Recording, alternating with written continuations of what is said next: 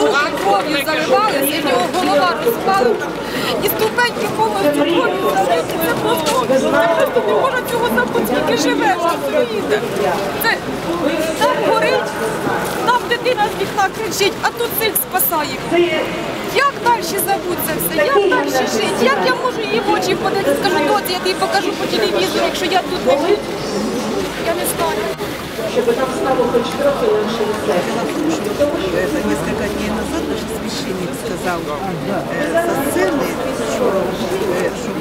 прокляты, Бога, вот эти наказы. Я вам правда кажу. Я казала, я проклинаю, я мати, я проклинаю чужих дітей, хай буде гріх. Але коли вони звідти погнали наших, так, наші сказали з Майдану із сцени, що відступайте, Ма- кидаємо яка, відступайте, бо життя треба зберігати. І вони, к- користуючись ситуацією, що наші пішли в відступ, ви думаєте, що вони дали просто на мирний відступ? Наші не могли наверх, вони на голови кидали вогонь, факела, гранати, розумієте?